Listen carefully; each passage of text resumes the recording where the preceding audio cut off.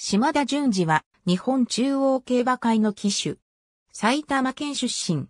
美穂トレーニングセンター、手塚隆久厩舎所属。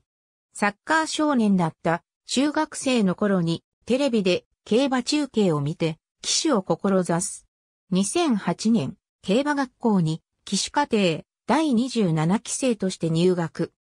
在学時にはフジテレビ系列の情報バラエティ番組、潜入、リアルスコープの密着取材を受けた。2011年2月に競馬学校を卒業、特に騎乗技術が優秀だった者に与えられるアイルランド大使特別賞を受賞した。2011年3月1日付で騎士免許を取得。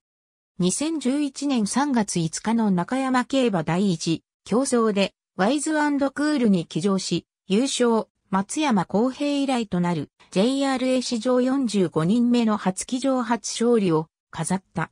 9月4日には、新潟2歳ステークスにフィロパトロールで重賞初騎乗。1年目は新人最多の18勝を挙げ、民放競馬記者クラブ賞を受賞した。2021年の皐月賞で浅間のいたずらに騎乗し、GI 初騎乗をクラシックで果たす。同期には横山和夫や杉原正人らがいる。目標とする騎手は松岡忠会。島田勲、島田淳兄弟、島田隆弘との血縁関係はない。2011年12月より同期の高島勝氏と共にツイッターを開始した。潜入。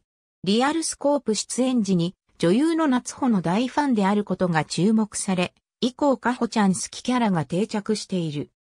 またかつて解説していたツイッターの自己紹介欄では、カホの他に、桃色クローバー Z のファンであることも公言している。